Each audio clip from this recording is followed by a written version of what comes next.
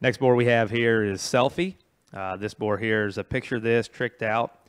Uh, this boar is raised by uh, Rotoball genetic team.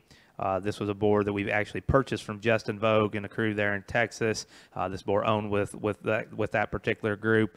Um, this boar here would be uh, his mother would be a litter mate uh, to the eighty-five thousand dollar reserve champion gilt there at OYE uh, in twenty-three. Uh, so we've got uh, uh, some uh, power in the blood there, I guess, on the bottom side. Goes back to a, a, a sow that uh, is tied into a gilt that uh, won a, a big show there, and definitely one that that definitely one that's got a lot of upside generating potential to her.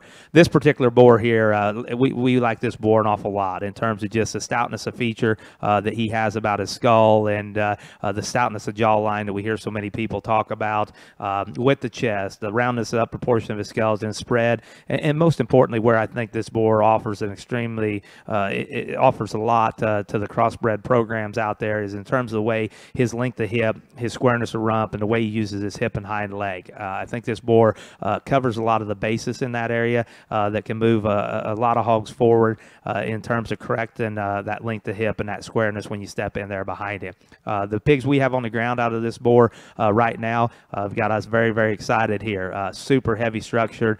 they look very impressive in the nursery at this point in time. We're very excited to get these things moved out here in the next few few days and start to analyze them here on the concrete. But at this point in time, this will be a boar that definitely definitely going to see uh, quite a few more sows here uh, at Chad Day Show Pigs for sure. Again, this is Selfie, uh, bred by Rotoball Genetic Team, owned with Justin Vogue uh, in Texas.